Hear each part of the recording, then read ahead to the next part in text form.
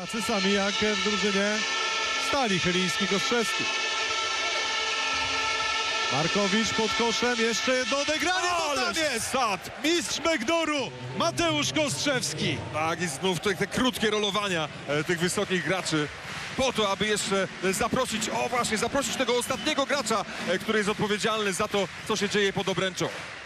Jeszcze raz mówiliśmy, dzisiaj u Państwa wszystkie drzwi na pewno od balkonu otwarte. Proszę uważać, bo tam nagle może wbiec Mateusz Kostrzewski i Wam zrobi wsad do żyrandola.